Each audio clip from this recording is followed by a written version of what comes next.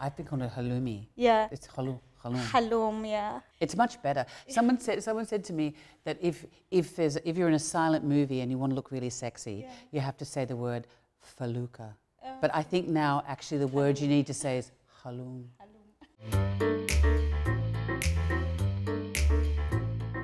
So you've won several awards for your. About 22 awards between worldwide, nationwide, best cheese in Yorkshire, British Cheese Awards. What an incredible It is. what an incredible imagination. That's astonishing. yeah.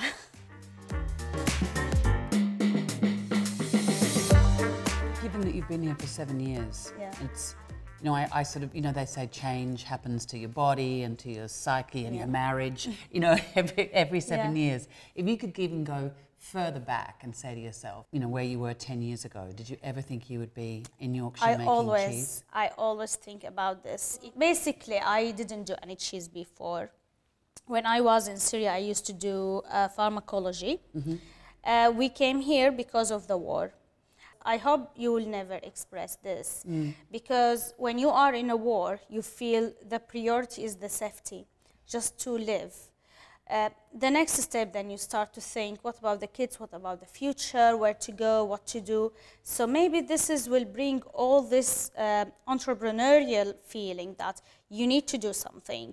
You need to face the challenges. Are there people you look back 10 years ago or another person that you've encountered in your time here in England who's been kind of pivotal or very important? What did help me actually when I came here is the belief that the mentor gave me. That she always told me, "You can do it. I can feel that you will success." Then I felt I will do something. I will make something. And food always maybe it got something with love. People, mm, when you mm. feed somebody, then they feel thankful. With having people working at our factory now, nine people coming every day to It's our factory, yeah. making cheese, and then they feed their own families. So um, I think this is the best how to, to give uh, back to the community, to thanks back that the place where it become our home.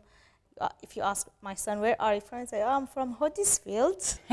so, you know, Yeah. you're, you're absolutely settled. It's funny, people often talk about, you know, the, the, the global displacement crisis and, and uh, the issues that are facing refugees is something that is so insurmountable. But that small vote of confidence had an enormous impact on, you know, you being where you are now and you having the capacity to give back. Yeah, I think everybody uh, got a role to play to support each others because at the end of the day, we are from the same community and we need really to get support each other to keep it strong Yeah, and positive. and positive And, as well. you know, incredible things yeah, come out of that.